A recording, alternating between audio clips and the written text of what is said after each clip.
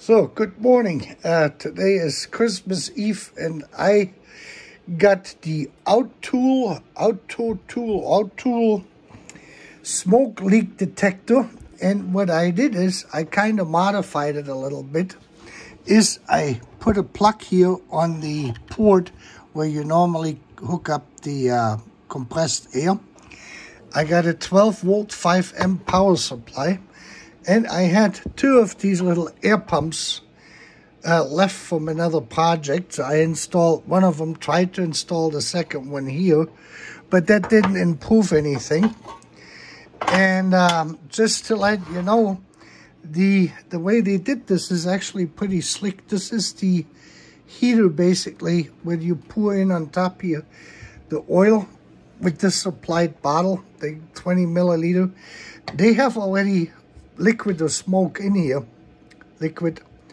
It came with it, so I didn't add anything to it. And basically the way this thing works is you come in with high pressure, it uh, lowers the pressure, brings it through this hose down here to the airflow metering unit where you can adjust the airflow.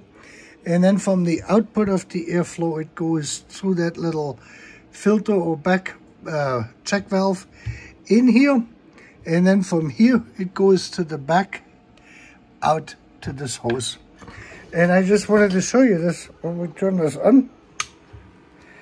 We have about uh, 1.2 and this is how fast the smoke actually comes out. And you can see this, it really stings up the room.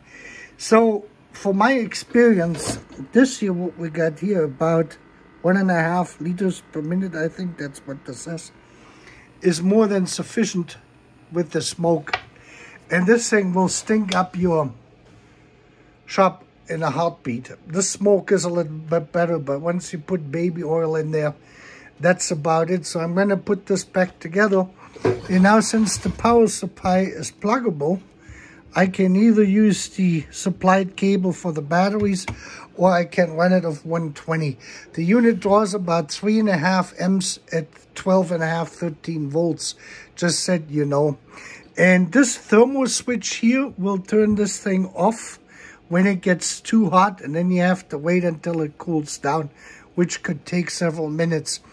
Uh, they didn't put a regulator in there, pulse width modulated regulator for the heater, which is really, you can see one pole here and the other pole is buried now underneath my pump. Uh, if you would control that with pulse width modulation and a temperature setting, you could regulate this.